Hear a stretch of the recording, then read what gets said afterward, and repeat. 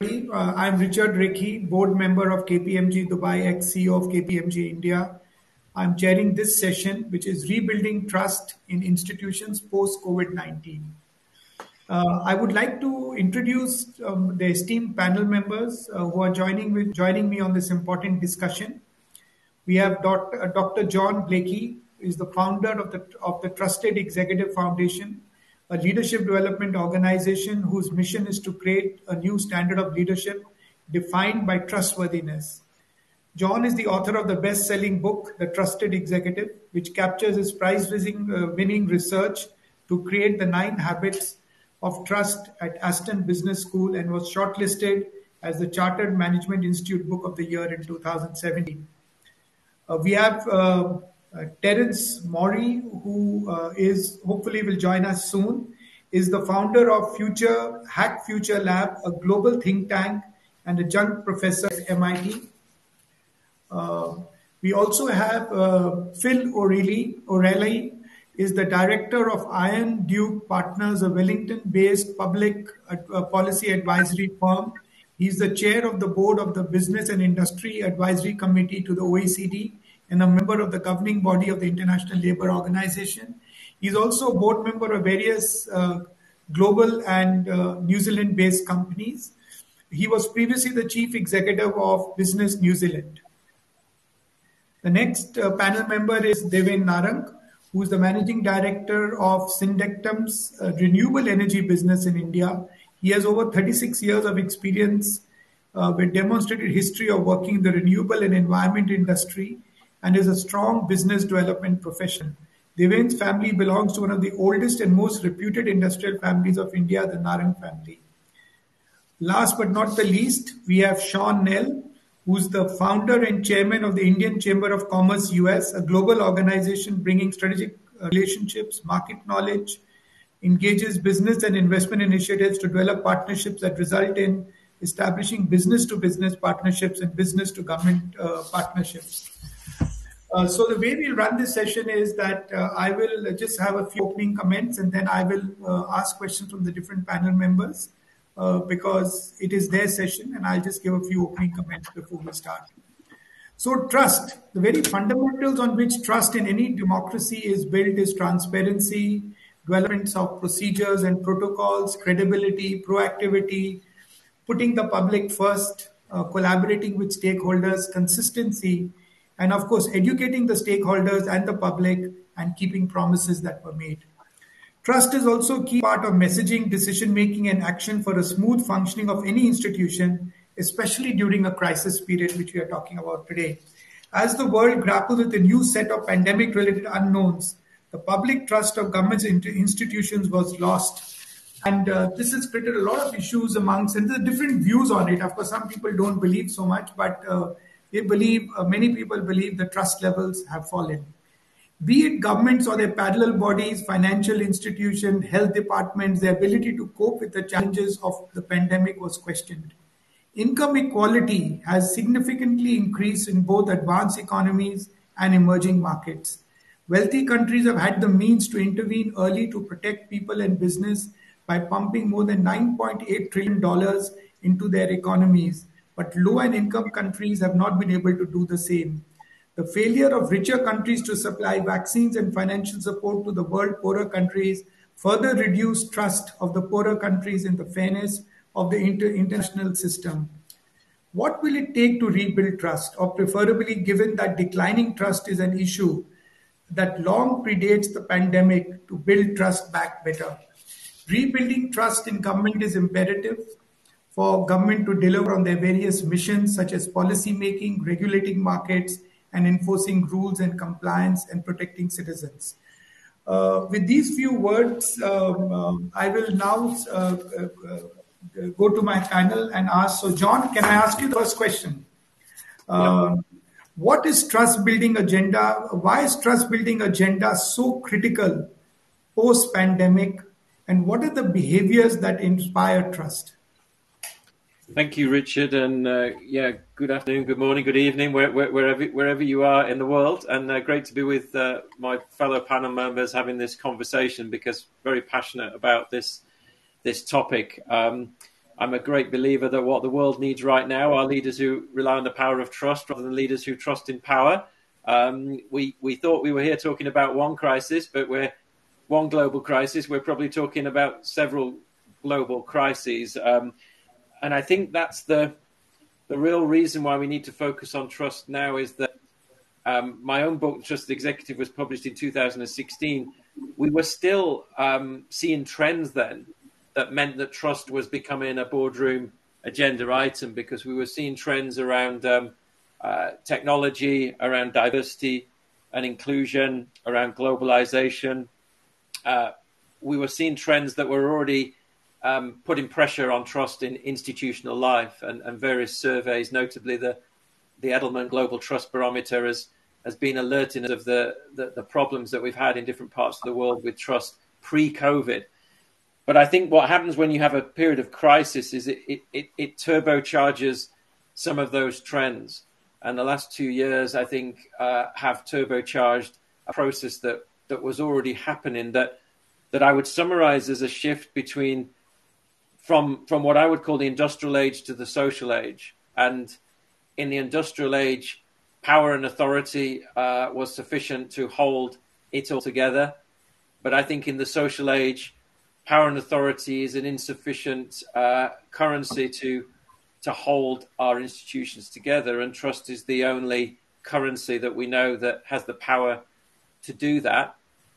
Equally, we are in that shift in time where there are still leaders who are relying upon power, um, and there are those that want to to move towards a trust-based uh, relationship, and I think that creates a huge amount of tension, as we can see right now. In terms of what, what behaviors inspire trust, the research says that um, there are three pillars of trust uh, ability, integrity, and benevolence. That a trusted brand or a trusted leader will be competent at what they do. So they, they have that ability. They will be they will have their ethics and their values in terms of their integrity, but they will also have this thing called benevolence, this this wishing well for others, this this sort of human care, compassion, kindness, that this is part of the trust formula.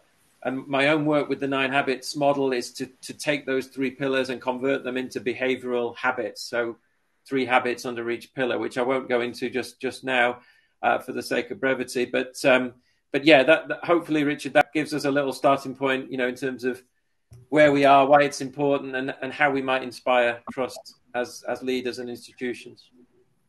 Uh, thank you, John. Uh, three nice words I've listened to now ability, integrity, benevolence. I never attached benevolence actually to trust. But today, the way you have put it across, compassion, I know is a big thing which came out during post COVID. And uh, so, thank you very much for sharing that. Uh, um, yes, we would have loved to listen to more on it because uh, it's something new, at least to me. Uh, Phil, may I come to you now? Uh, Phil, uh, New Zealand, as we have seen uh, across the world, we all complimented your prime minister for the wonderful work she did as pandemic broke out.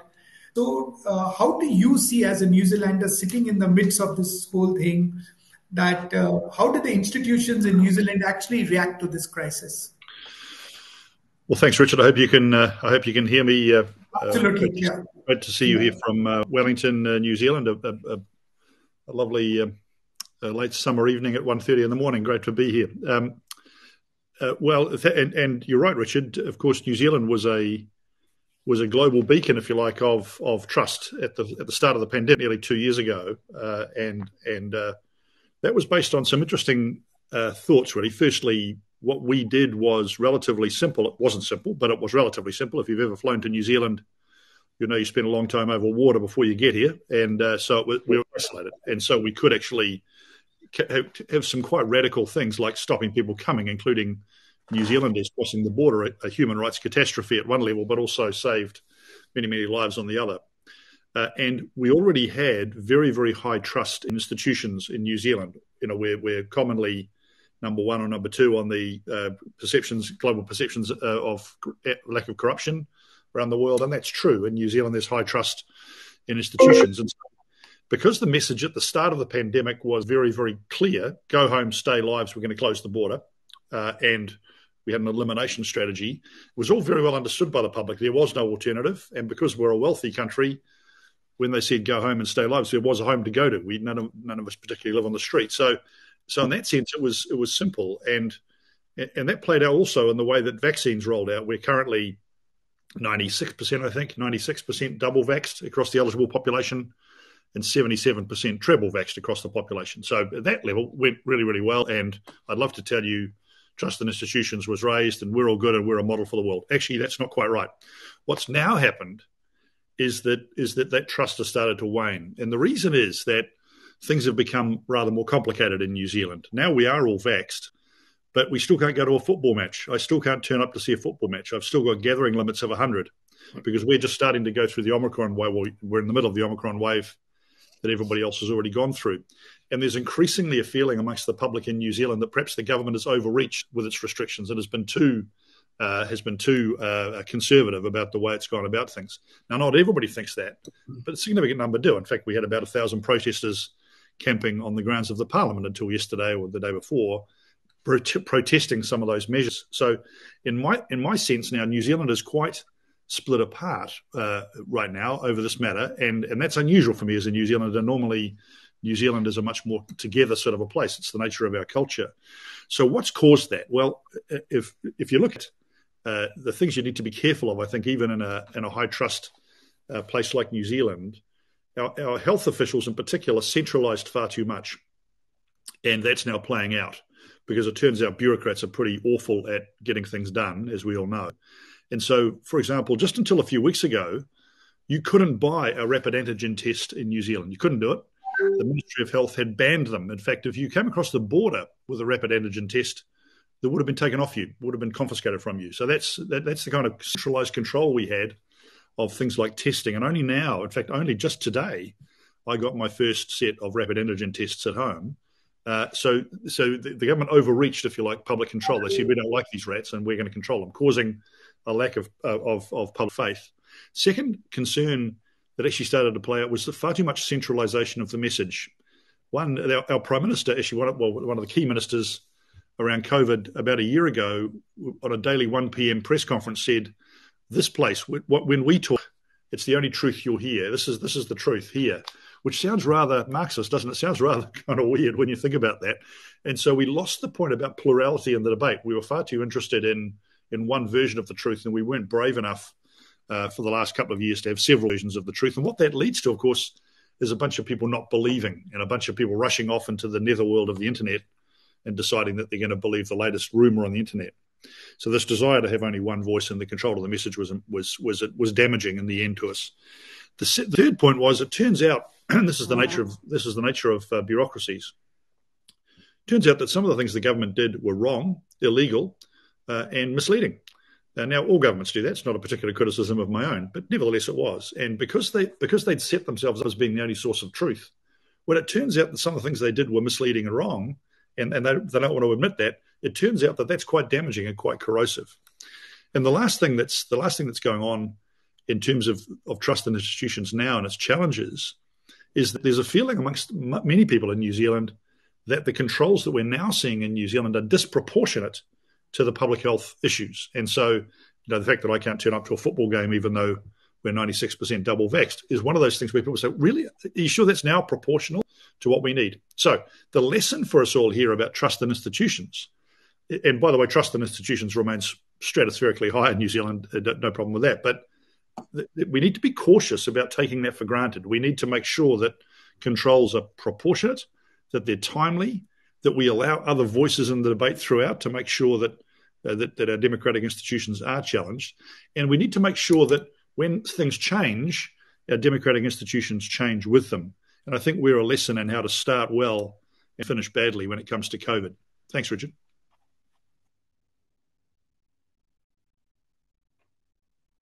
Richard, you're on mute.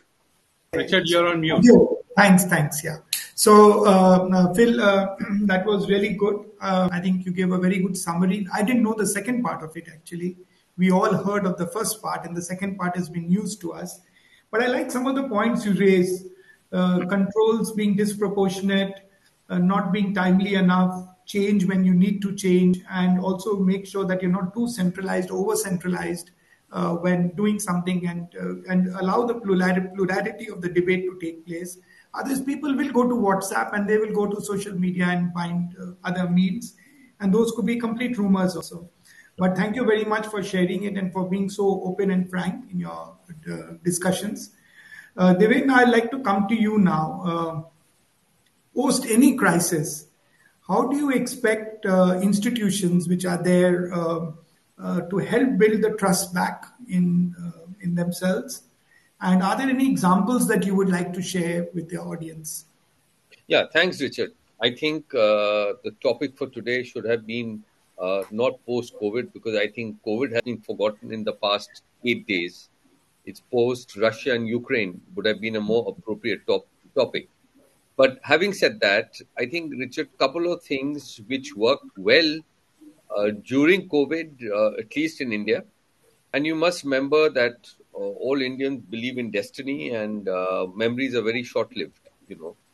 Uh, so, as far as India is concerned, currently as we speak, people have forgotten what happened last year or year before last.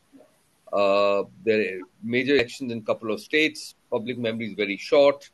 Uh, economy is doing very well, so people are more interested in counting rupees, and probably the memories have faded, except for those who lost very close relatives or very close family members, and they can't forget what happened uh, last year.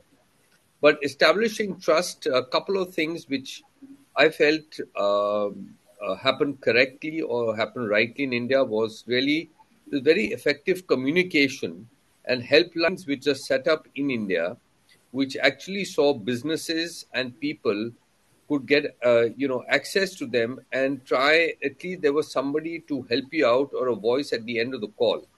So I think in any post-crisis situation, uh, communication is important uh, how the economy is doing is important and how people's livelihoods uh, how you bring the livelihoods of people who lost especially people who are on daily wages uh, in in india uh, they've managed to actually come back the biggest factor also has been corporates the corporate sector worked very well established through their csr activities made sure and NGOs came forward and helped people who had lost jobs. So I think, uh, uh, you know, uh, uh instead of the press, uh, everything became very sensationalized during COVID. I think that uh, pitch, that high pitch has gone low now. government has, at least in India, government has done lot, a lot by building infrastructure and thereby giving a lot of jobs to people and just fueling the economy with um, massive announcement of infrastructure projects, especially roads in India, which have uh, uh, been highly successful. So I think post COVID, uh, as lo- as far as this economy is concerned, it's bouncing back, uh, except for this crisis. And I don't know the past eight nine days what it evolves, uh, what it leads to. With oil prices high, and uh, you know we are again probably getting into a crisis mode for which at least I am not qualified to comment what is going to happen because um, one really doesn't know. I'll pause now. uh, thank you, Devin. Um, I think uh, talking about infrastructure, I think that was a good point you raised. That the government of India spent, and I know they've done a lot on the road side, especially tolling these roads, sending, giving, uh, you know, and some really large corp- uh, global companies have bought into it. Uh, Seann, may I come to you? Now, you are living in the US, and uh, US being the largest economy, and uh, anything happening there impacts the rest of the world. Was there any change in people perception towards the government and other institution as far as trust is concerned? Thank you, Richard, and thank you, and morning to all panel members as well as the team members who's watching. Uh, Richard, this is this is definitely a very important question um, trust and perception it goes hand in hand pretty much. And uh, we have seen, as far as US is concerned, initially before the outbreak, we had a challenge about immediately after the the democratic voting. and what happened. I'm sure everybody is aware aware of what's going on, what was going on. But as it started, the COVID took over, and then we had a situation where the elections happened, and there was a lot of uh, upfront being okay, maybe the new government would take care of it and things like that. So there was lot of expectations, and uh, uh, as a result, I'm not really sure whether there was a breakdown in the communication that happened. But initially, the entire United States was beginning to be at the outbreak was coming together, and there was a lot of trust with the government. But eventually, we started a lot of split happening and there's a different thoughts going on. Various topics has been brought up. There was a, the main divide was the political divide, however, and that political divide really it stretched the limits of the pharmacy industry, the healthcare industry, the media eh, took advantage of this probably, and that is the key driver here. And as a result, the people on the ground started facing a lot of music, and people was started not very confident who to listen to. Is the CDC right? Or is the NIH right? Is the White House right? Or is it the eh, media right? Who is right? The city's figures would always tell you a different story versus the CDC story will be much different.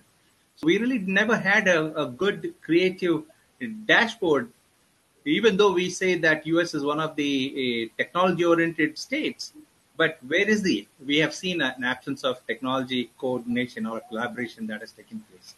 And that is still going on as we speak. It is much better, but there is a different stages of uh, pandemic that happened. We have seen significant changes there. Things are much better.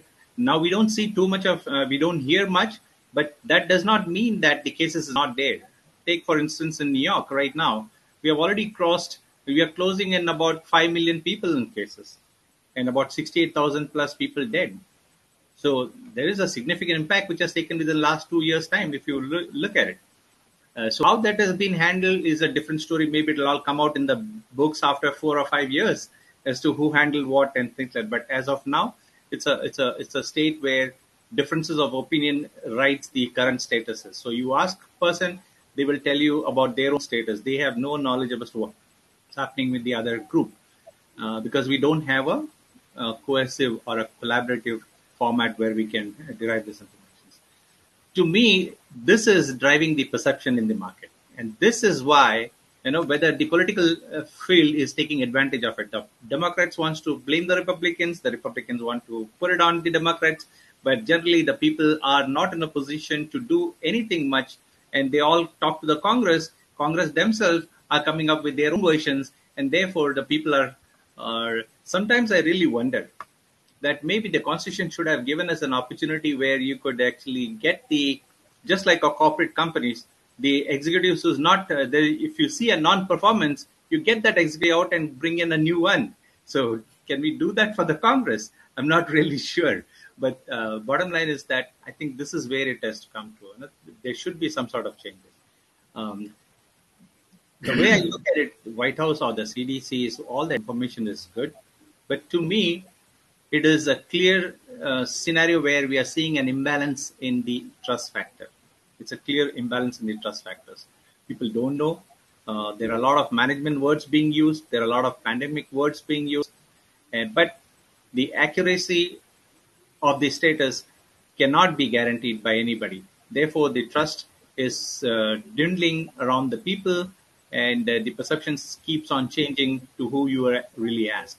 So uh, let me stop at that, Richard. Thank you. Thank you. I think very good perception and trust, and uh, a lot of political divide. Uh, a lot of it uh, we can see it. Depends which news channel you listen to. You would get the, the news according to that, and um, also who is right uh, is a confusion, which is in all countries actually, Seann. I mean, if you right. look at it, uh, I think it's the narrative which actually gets uh, played out. Uh, but you know, US being the world leader and uh, people look up to US for a lot of things. And I know you all have gone through your fair share of inflation also post this COVID right. and, and seeing it at an all-time high kind of. Uh, Phil, may I come to you now? Uh, uh, we normally react or have views on what institutions do. We all, you know, citizens do that. uh, what do you, how do, uh, uh, what do you think about the relationship between institution and the citizens in terms of our rights and responsibilities towards the country? Well, thanks. Uh, and just, just maybe answer that question in terms of COVID. I mean, in, in a broad sense, of course, in New yes. Zealand, uh, we generally have high quality institutions that are um, we're, we're free of corruption, of course, and you know, in dealing, I deal with those institutions every day. It's my job, uh, and as a general rule, they they try quite hard to to do what they're supposed to do, and they try quite hard to to have good public policy outcomes through process and and consultation and all the rest that we'd be familiar with. But during COVID, I think we learned some lessons about not being lazy about that. so, one of the big lessons I think was that we, we, saw quite a bit of institutional overreach, and I think this is probably true in a number of countries where you saw institutions starting to decide how we could live our lives. And in one sense, that was entirely appropriate because we were in unprecedented times. But I, you know, my sense was some some institutions in New Zealand, certainly some actors in those institutions, started to think that that was some sort of new normal. That this wasn't an unusual sort of situation, and, and you would have seen that in a number of countries where you saw this rather institutional overreach, and that's uh, and, and, so the lesson we need to learn is that institutions are for us; they're not we're not for them, uh, and that was particularly the case with regard to public health. The second thing we learnt in New Zealand, at least, and I suspect elsewhere, was that when it comes to crisis time, you can't just listen to one voice. In New Zealand, our our uh, reaction and much of the debate was led by our Ministry of Health. Now, that's entirely appropriate, of course. But the Ministry of Health knows very little about the business community. They understand very little about uh, the role of competition and regulation in other areas of the economy. And they, it was impossible for them, not their fault, but it was impossible for them to balance off the health uh, uh, reaction, health response with the economic response and so on. That was government's job, of course, and government did a very poor job of that, still does today. Uh, so what you saw, because you saw one one institution taking most of the voice, that led to an imbalanced public policy outcomes. So the lesson we learned in New Zealand was if you do, well, certainly I learned, was that if you're going to do this in the future, you need to put together a group of institutions and have a lot of different advice, both publicly uh, and, and and privately, to make sure that governments take, take a balanced view, where in our case it was a rather uh, imbalanced view. And the last point I'd make uh, is that leads to proportionality. So what we did, what happened in New Zealand, arguably at the start, I don't think there was an argument. We pulled the health lever very hard and in fact, our government, they, they, they're fond of saying they follow the health advice. Actually, they don't. They're more conservative than the health advice. That's consistently the situation. So there was no, there was no uh, that we pulled that health lever very hard because of that situation, and we didn't necessarily have a balanced view, and nor did the government. And that's now playing out. As I say, we're now still closed as an economy. Only just in the last couple of days have New Zealanders been able to return home freely to New Zealand after two years. Now that's a catastrophe human rights, in human rights terms uh, and that's a rather imbalanced situation. So there's some lessons out of this, I think, even in a well-run uh, society like New Zealand, relatively well-run, that these kind of pressures when they come on institutions, we need to go back and really stress test them, and have people sitting on those institutions and politicians and others who are who are conscious of the broad range of history, and don't just say, "Gosh, we're going to do this thing today." We, we need to understand where we come from, why we're a democracy, and th- those other balancing factors, and, and really that was a bit lacking and still is uh, in the New Zealand response. So I think some relatively good lessons to learn, not just for New Zealand, but for others, because most people would look at New Zealand and say, gee, that's a country that runs public policy pretty well, and still we stumbled. Yeah. so uh, thanks, uh, thanks a lot uh, there. Uh, and I think the, the, important point is uh, one should not. it is the right ministries. Actually, the ministries needed to come together. Like in most countries, they did not. And I think this is one big uh, lesson I think countries have learned now how you can have a more cohesive way of trying to deal with the situation. I think as uh, visitors, we still cannot visit New Zealand, right? I heard it's closed till October. So, no, that's right. Uh, visitor, visitor, government, that's another classic example, actually, Richard. The government's saying it's October, but we'll make it earlier. Okay. Well, okay, when? and so, and so the tourism sector, our biggest single export was going, uh, when can we start business? And it, that's a classic demonstration of the fact that we're not having the right business voices in the debate. government could tell us now what they what they seek and what the what the conditionality is about opening the border. They just don't want to say because they're pulling far too hard on the health lever as a single lever. I'm not suggesting they shouldn't pull hard on it, but it's a single lever. That's absolutely right, and it causes that, exactly those kinds of stress points. Yeah, thank you.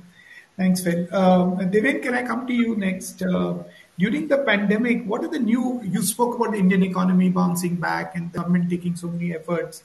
So, what are the new opportunities that have emerged in the economy, and how do you help? Some of them are going to help in nation building going forward as we create the new normal, as we say talk about. So, Richard, that's an excellent question. Uh, the pandemic saw a lot of interesting things. For example, we saw social media becoming extremely popular to launch new businesses. For example, uh, there were kids, I can say, age of 20 to 30, who, who had products which were very uh, localized to a particular area, but using Instagram as a marketing tool, they have today uh, developed businesses which are a couple of million dollars. I mean, it's incredible. FinTech uh, how people use uh, uh, technology to transfer funds. I mean, look at it, Richard. India has produced 22 unicorns in the last one year in the COVID period.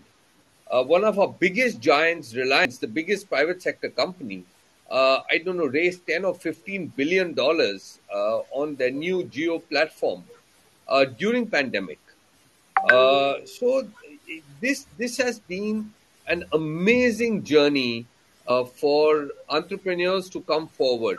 And we have now seen uh, entrepreneurs entering segments which we thought were very closed. For example, new range of soft drinks were launched through uh, Instagram marketing. Uh, new brands came in, ice cream brands came in. Uh, you know, today, just to be selfish, my daughters launched a brand four years ago. Today is the number one selling most expensive ice cream brand in the country. So, you know, things like this, and they have doubled that turnover year on year, uh, uh, despite the pandemic. So, we had a lot of these uh, success stories which have come around, and they got funded uh, uh, without funded on Zoom calls, on uh, you know, on VC calls like we are having today. So, this has been an amazing journey, and actually, this has helped entrepreneurs to increase the GDP of areas which never had any growth. For example, you had a remote area where a couple of women got together and they, they made pickles, for example. And those pickles found a national market through Amazon and um, Flipkarts of the world. So it has actually helped to revive economies, and people suddenly realize that they have a talent which can now become national because you don't need to be on television and you don't need to have a huge uh, multi-million dollar budgets to advertise your products you can do it much more efficiently either through whatsapp or through instagram or facebook any of the other social platforms so this has actually really helped and given confidence to the government and now they have started uh, encouraging startups giving them tax breaks this is all a part of the covid activity and uh, this has been a very exciting journey for, uh, I, I, must say, for entrepreneurs. And India is, as you are aware, a society of entrepreneurs. So you know the entrepreneurship has actually come come ahead, and uh, people have uh, you know amazing. You know people. Uh, uh, Richard, I'll take thirty seconds more. I visited a company today which for the past five years has been using AR VR to skill people at various oil platforms and pharmaceutical companies which are, which are not accessible. And today I spent an hour and a half with them, and I, I was blown that what a small Indian company in the outskirts of in Noida, which is outskirts of Delhi, have developed a device where they, they are actually training people how to, um, you know, uh, on uh, environment issues, on training on oil rigs, on training in pharmaceutical companies, and it's, no one's even heard of them. And it's incredible uh, what they've done all through pandemic. So this is really very encouraging how the entrepreneurship has actually come forward, and it has actually helped government to give them grants and give them loans and uh, make a special category of loans which can be given to these startups. Of course, the policy has to evolve. We have to be much more. We have we have to be faster, but you have to also consider that we are a population of 1.4 billion. So you know it, it, it has its own challenges. Yeah.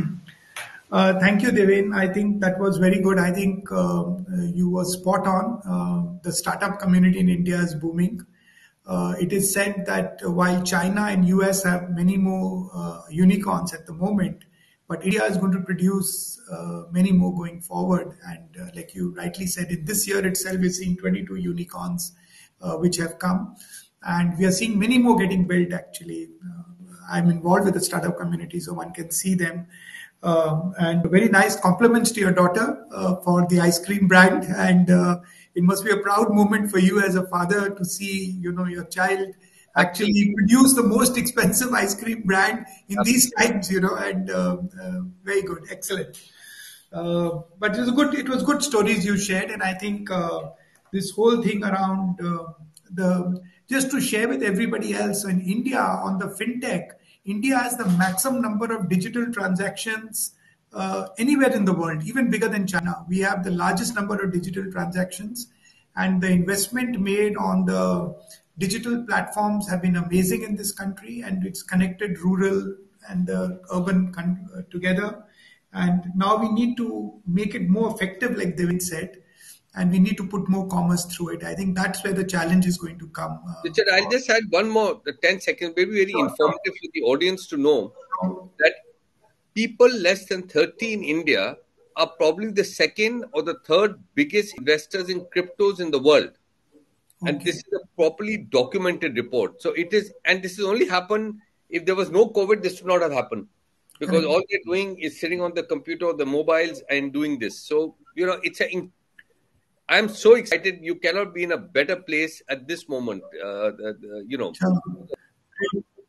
Thank you, Devin. Uh, Seann, let me come to you. You are an Indian, but sitting in America at the heart of everything, and uh, um, uh, you know, like um, the nature of institutional trust as you see it from the US angle compared to other countries where you are doing business with.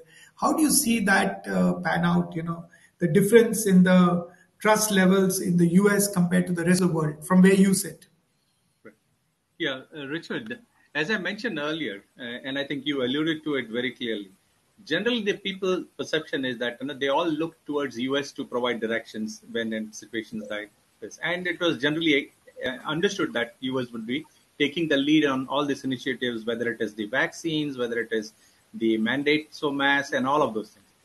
But maybe it is the absence of the leadership or maybe it's the proper framework was not put in place. And yeah. uh, this could have led to the uh, absence of leadership from the us and as a result most of the countries out there who are looking towards us uh, got a mixed signal or a mixed message. And each had to do on their own. Now take the case of india. India is now becoming a case study because through that process india has actually developed a model in which they were able to take care of their own people. And uh, generally, we are only one third of uh, one third of the total population size of India. But still, you know, they have managed it so well. The mass mandates, whether it is the policies of how it would be uh, institutionalized, as well as how the uh, vaccines will be coming and how it will be distributed, the entire distribution system, supply chain system within India has improved considerably. In US, we did not have that issues. But at the same time, we had challenges which has probably come from the, the thought processes of the constituents. And it all depends upon whether you are a Democrat or you're, uh, you're Republican. So the political angle has actually influenced on how this come out. And the rest of the world took it very late in the game when they realized that there's too much of politics going on. So it is upon us to take this mantle and go forward for our country, which is the countries which were not in a position to do it, they would still come back because when US itself is suffering, how can you actually advise the others? So the media took on their ownership of advising every country saying you should be doing this, you should be doing this, you should follow this, you should buy this vaccines. And the net result is the pharmaceutical industry, the healthcare industry really boomed and they made significant profits. So that's a upside. Uh, the grant and stimulus that was provided by the government uh, went into the pockets. A lot of things went to the good pockets, but uh, some got uh, corrupted and some became overnight uh, news items, either if they were and so we saw those kind of challenges also come together. So these are mixed messages that is going out to the world. So the trust factors has eroded in many ways when when you really look at it. And uh, there is a by and large there is a uh, there is a uh, a backlash which has come because of that, and uh, the, the, progress that was actually expected to happen has not happened so far. Uh, this is also one of the reasons why we have seen that inflation come and go kind of scenario. But generally, the the people have started leaving jobs and setting up their own entrepreneurship, and they are doing much better in that scenario. So that also allows them uh, for not going to office, but they are able to comfortably work. The prices of the houses and the housing systems across the United States has started skyrocketing. We have also seen some uh, additional forum where you see the large corporations have actually moved out of the California region and moved to Texas, Arizona, Nevada, and other states. And here, there's a very important point. It tells me very clearly if you look at the dynamics some of the states have income tax and most of the states have that. But there are few such as texas wyoming and all they don't have income taxes and nevada. So what happens is some of the companies have actually chosen to go there. They are business friendly they have opened up and they have started receiving companies. Uh, teslas and everybody has come into uh, right it doesn't mean that texas do not have any problems but they are more business friendly. And as a result suddenly if the government is getting uh, 8,000, 10,000, 50,000, 100,000 jobs, that's the that's the angle which they want to go. Uh, and I think that is the one of the good things that has happened to this uh, old pandemic. And so coming back to that trust issue, I really don't think it is only the trust that is mattering at this time. People have actually forgotten the trust scenario. They are really bounced about can I get a job? Can I get a, uh, or can I get into an entrepreneurship? Is there a funds available, investment available? How can I get to it? Uh, are there people who can take me to my with my ideas forward? Uh, those kind of things are becoming more important, and I've been seeing that the cases are very much high there. The school systems are still lacking behind. Not everybody is online; they are offline, and uh, so that we are seeing a lot of progress. But the dynamics of uh, Texas, as an example, suggests that receiving large business with open arms and yes, California is losing its heavily. And that is a great example which is being cited all across here. Uh, but to me, I think the balancing act is highly critical, especially because that Russia-Ukraine war is going to be changing the entire dynamics as we have seen so far. Uh, it's not about trust anymore. It's about the challenges that we're going to see forward. So it's very early to say something at this time, but in, within the next maybe two months or so, we will start seeing the dynamics that is changing. But one caution here is that the balancing act is very highly critical, and we expect the leaders to exercise a level of patience in their decision making, not to rush, and that is going to be the key driver. Thank, Thank you, you. Uh, Seann. Uh, that was very elaborate, and I think you have raised a lot of good points. Uh, John, may I come to the last question for the day? How important are the CEO and senior leadership team uh, behaviors in rebuilding trust in institutions? And what are the benefits of high trust cultures in institutional life? How would you see it? Yeah, thank you, Richard. Um, yeah, the uh, the research again uh, would say that the biggest single factor in bu- building a high trust institutional culture is the behavior of the the leader and the senior leadership team. That that role modeling and that leading by example uh, ro- ripples out into a culture over a period of time, and, and, we can see that politically. It's interesting on this discussion. You know, we, we can think of our political leaders: Jacinda Ardern, um, Donald Trump, Boris Johnson.